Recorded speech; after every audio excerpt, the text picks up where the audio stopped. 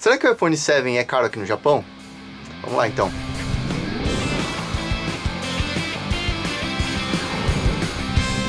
Opa, vamos lá, coisa mais que pode. E aí pessoal, tudo bom com vocês? Hoje é quinta-feira. O que eu trouxe pra vocês hoje é uma coisa que é mais ou menos o assunto do momento. Né? Já faz mais ou menos duas semanas que saiu o iPhone 7 e eu acho que seria bacana eu comentar com vocês o valor desse pequeno aparelho, smartphone, para vocês saberem se vocês estão sendo injustiçados ou não.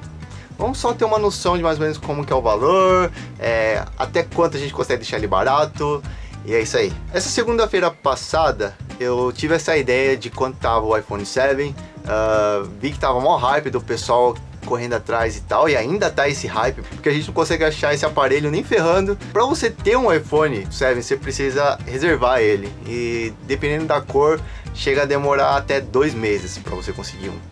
Então, tá muito no hype ainda. Uma coisa que eu quero deixar claro aqui antes de entrar nos valores é que eu peguei o valor em ien e deixei uh, em dólar como se fosse um para um, tá? E com o valor em dólar vocês têm uma noção mais ou menos de quanto uh, fica em real. Eu não sei quanto está a cotação do dia em real, vocês podem pegar de acordo com o dia que você está vendo e fazer sua própria conta. Então eu estou fazendo de um para um em relação a em dólar, tá bom? Então com base nisso, vamos lá. Eu fui na loja de três operadoras aqui do Japão, que são as mais conhecidas, SoftBank, Docomo e au. E cada uma delas tinha um valor para o iPhone.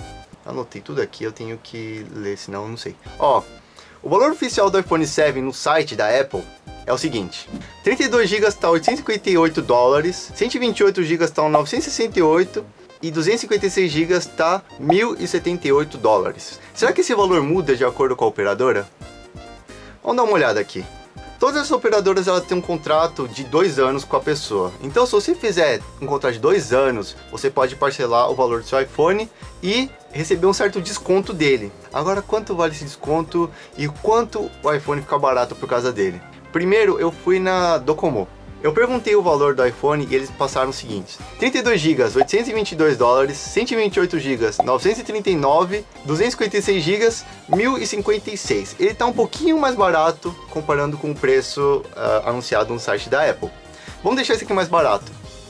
Se você fizer esse contrato de dois anos, você recebe um desconto de 23 dólares por mês. Além disso, tem como você deixar mais barato se você sair de uma operadora e mudar para outra. Então, na como se a gente mudar de outra operadora para ela, a gente recebe o desconto de 3 dólares e meio por um ano só. Então, faz todas as contas colocando esse desconto uh, de dois anos de contrato, mais esse um ano, caso você mudar de operadora, o iPhone de 32 GB fica 163 dólares o de 128 GB fica 280 dólares e o de 256 GB fica 396 dólares.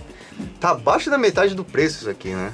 Mas ok, cara, essa aqui é a Docomo, que na minha pesquisa ela foi a mais cara de todas. Ok, vamos então para as duas operadoras que sobraram, porque elas ficaram quase com o mesmo preço. Então vamos lá para o SoftBank, 32 GB dá 880 dólares, 128 GB 998 dólares, 256 GB, 1.118 dólares. Ok, da AU, 32 GB dá 792 dólares, 128 GB dá 907 dólares e 256 GB dá 1.026 dólares. A EU, se você for pagar na bucha, ela sai mais barato. Tá bem mais barato que é, o valor anunciado no site. Tem os descontos. SoftBank, ela tem esse desconto pelo contrato de dois anos, que por mês 28 dólares. Mas Assim como na Docomo, a SoftBank também tem esse desconto caso você mude de operadora. Então, se você está em alguma das outras duas e muda para a SoftBank, você tem um desconto de 4 dólares por mês. Ou seja, por mês você tem desconto de 32 dólares. Então, fazendo toda essa conta aqui, o iPhone de 32 GB, no final das contas você vai pagar 106 dólares nele. 128 GB você paga 224 e 256 GB você paga 344 dólares.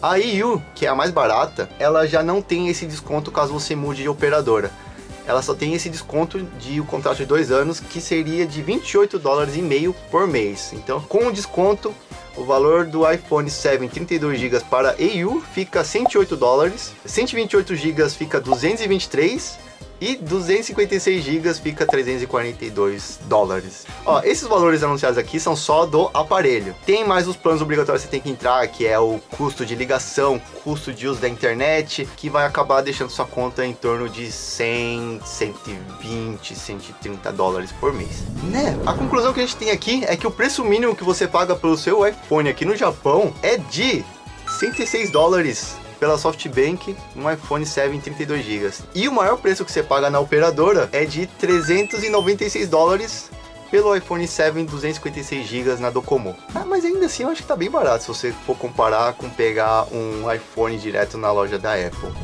Enfim, cara, esse aqui é um vídeo só para vocês compararem como são os valores, como que é essa coisa eletrônica daqui do Japão, tá? IPhone tá nesse hype aí, eu sei que tem muito estrangeiro querendo comprar, eu sei que tem muito brasileiro aqui no Japão também, uh, meio que procurando. Espero que esse vídeo tenha sido útil a todos vocês aí, de alguma forma. Então é isso aí. Minhas redes sociais estão tudo aparecendo aqui, se inscreve no canal clicando aqui no inscreva-se, tá? Para mais coisas do Japão, mais comparações, mais curiosidades, etc. Uh, ah, clica no gostei, eu conto muito com a ajuda de vocês. Demoredes? Ripa na chulipa e pima na gortinha. Tchau, até domingo que vem.